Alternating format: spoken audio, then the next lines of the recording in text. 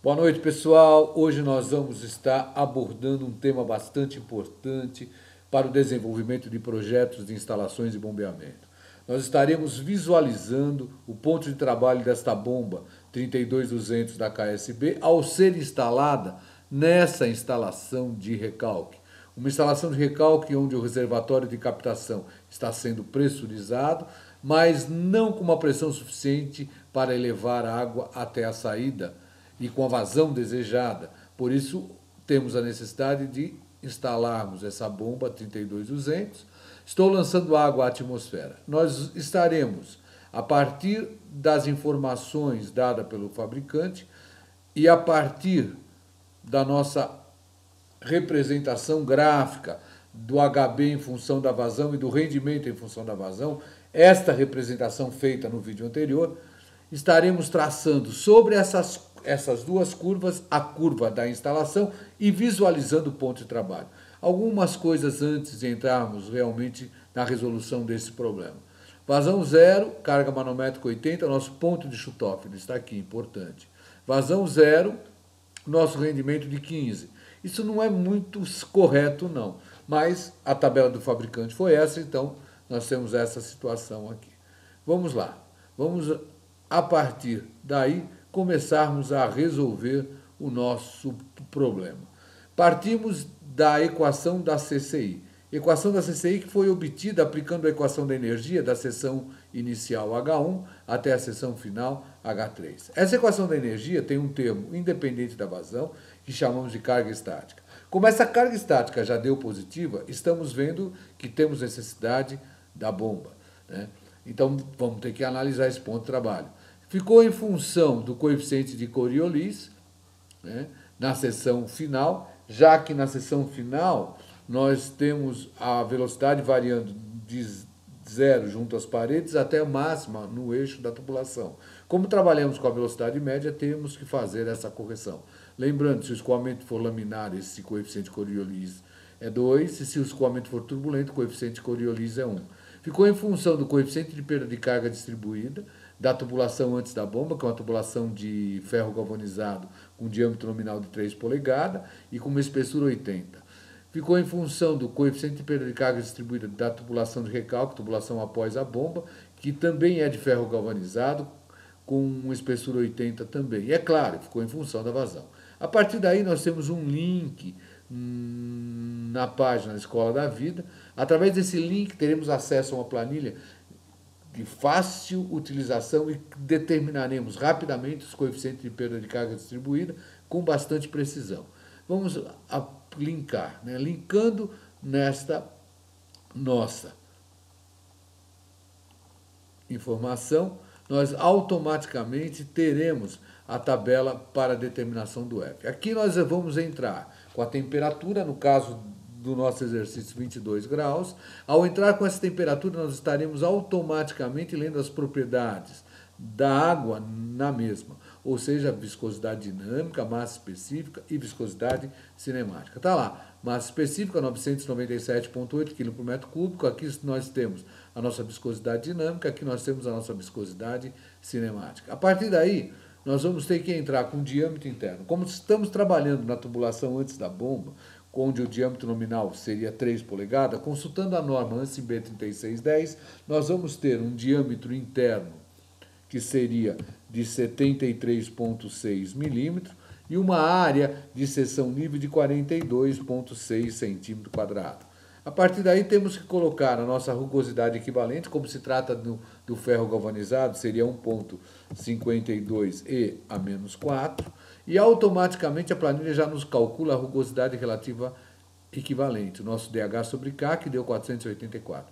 A partir daí nós vamos ter que copiar as vazões, do fabricante que foram dados em metro cúbico por hora. Aqui, necessariamente, entramos em metro cúbico por hora. Então vamos lá, vamos recorrer às informações do fabricante e vamos copiar. Claro, não iremos copiar a vazão zero. Por quê? Se colocarmos o zero, vai ficar zero dividido por zero e a planilha vai acusar erro. E mesmo porque com vazão zero não temos perda de carga. Então nós vamos copiar do 10 para frente. Selecionamos, copiamos e vamos para a nossa planilha para o cálculo dos Fs. Colocamos lá colamos os valores.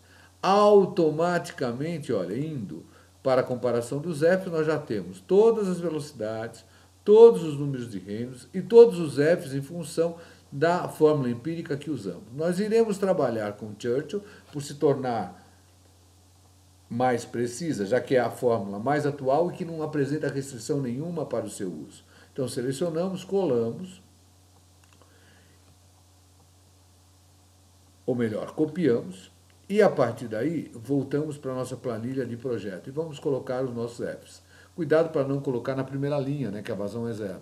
Então, colamos os valores, está aqui os valores dos nossos F.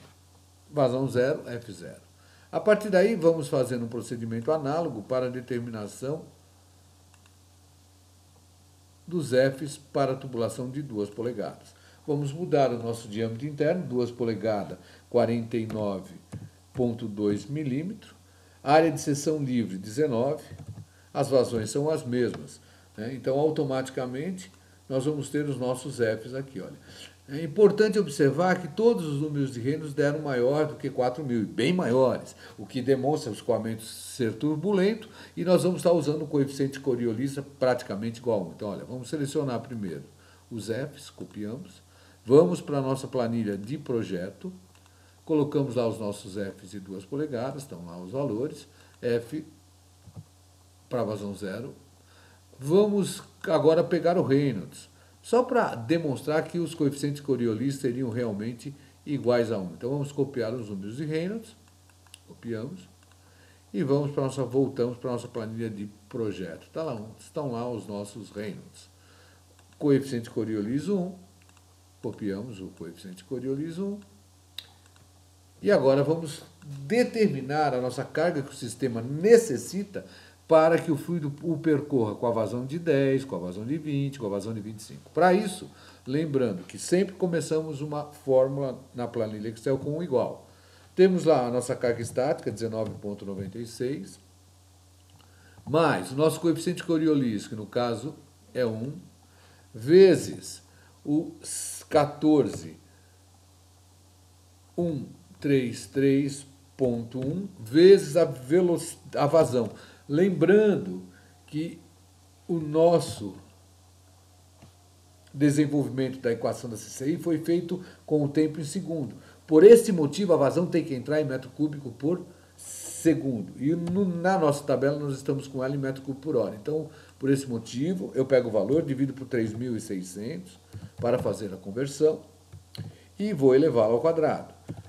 Automaticamente, como essa parcela vai aparecer em outros membros dessa equação, eu vou copiar, selecionei, Ctrl C, e eu vou continuar.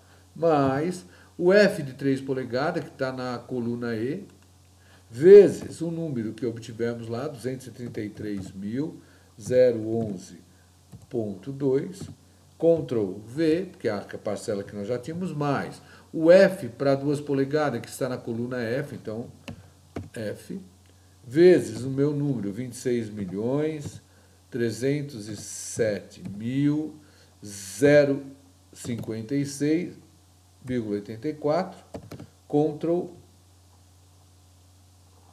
V. Ah, e temos lá o valor para a vazão zero, claro, que deu a nossa carga estática. Descendo, automaticamente nós teremos os demais valores que, claro, deram errado. Por quê? Vamos ver, verificar o que, que aconteceu o dia? Vamos selecionar a nossa linha 1, vamos clicar e já verificamos. Né? Ao invés de eu ter selecionado o coeficiente Coriolis, eu selecionei o número de Reynolds. Então vamos lá, olha, não seria G2. Aqui eu seleciono e vou clicar no coeficiente Coriolis, que seria o H2. Eu bato e vamos ver se corrige. Vamos selecionar e automaticamente corrigiu. Então, aqui nós temos os nossos valores né, da carga que o sistema necessita para que haja o, o escoamento. Vamos, apesar de trabalharmos com todos os números, deixar visível apenas dois números após a vírgula. Então, deixamos aqui. Agora, nós vamos traçar esta curva da CCI, né, a carga estática em função da vazão, sobre as curvas fornecidas pelo fabricante. Para isso, nós vamos às curvas do fabricante, selecionamos, clicamos com a direita e vamos lá. Selecionamos dados. Adicionar a nossa CCI. Em X, né, o eixo de X vai entrar a vazão. Então vamos para os nossos dados, tabela das bombas, e ó, vamos colocar a vazão. Né? Em Y seriam as nossas cargas necessárias para que o fluido percorra a instalação que está sendo projetada com a vazão pré-estabelecida.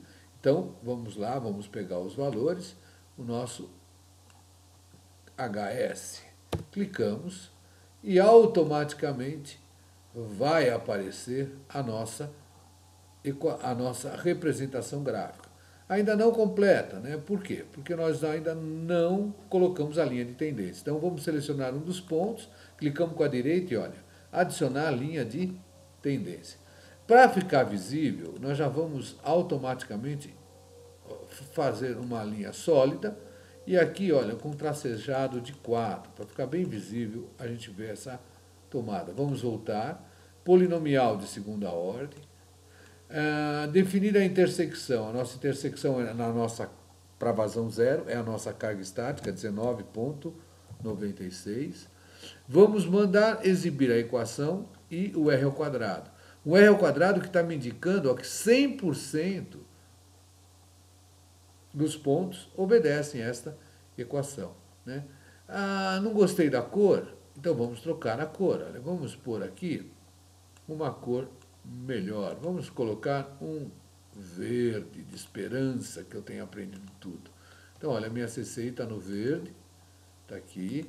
Automaticamente, eu já estou visualizando o ponto de trabalho.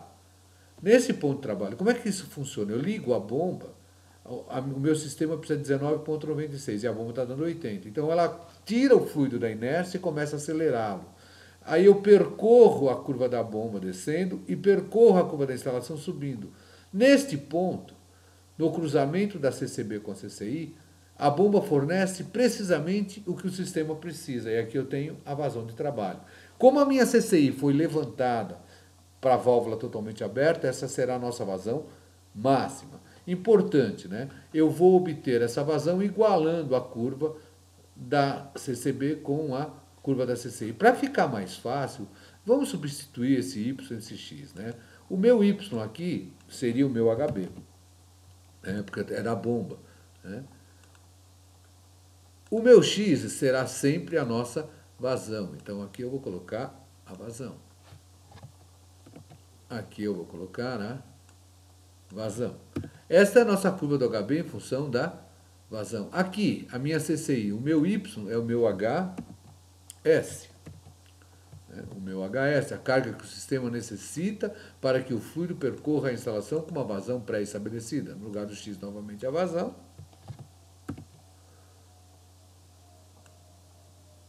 E também, para não dar dúvida, vamos substituir o do rendimento. Olha, no lugar do Y seria o nosso eta B, que seria o rendimento, né?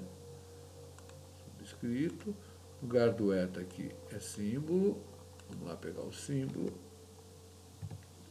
Símbolo. No lugar do X, a vazão. X, a vazão cargo X, a vazão. Então aqui nós conseguimos traçar junto as curvas do fabricante e a curva da instalação. No cruzamento temos o ponto de trabalho. É isso aí, moçada. Olha, se essas estas informações foram úteis para você, não esqueçam de curtir, cliquem lá no joinha e também se inscrevam neste canal para receber as informações futuras.